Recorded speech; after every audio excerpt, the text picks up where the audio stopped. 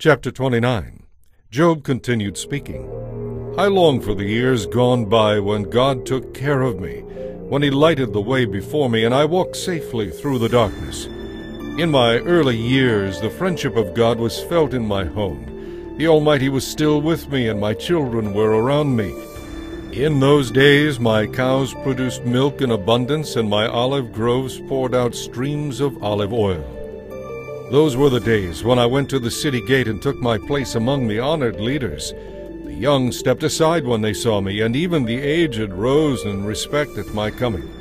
The princes stood in silence and put their hands over their mouths. The highest officials of the city stood quietly, holding their tongues in respect. All who heard of me praised me, all who saw me spoke well of me, for I helped the poor in their need, and the orphans who had no one to help them. I helped those who had lost hope, they blessed me, and I caused the widows' hearts to sing for joy. All I did was just and honest. Righteousness covered me like a robe, and I wore justice like a turban.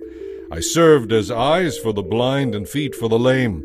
I was a father to the poor and made sure that even strangers received a fair trial. I broke the jaws of godless oppressors and made them release their victims. I thought surely I will die surrounded by my family after a long, good life. For I am like a tree whose roots reach the water, whose branches are refreshed with the dew.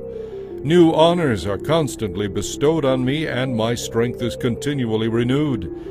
Everyone listened to me and valued my advice. They were silent as they waited for me to speak. And after I spoke, they had nothing to add, for my counsel satisfied them. They longed for me to speak as they longed for rain. They waited eagerly, for my words were as refreshing as the spring rain. When they were discouraged, I smiled at them. My look of approval was precious to them. I told them what they should do and presided over them as their chief.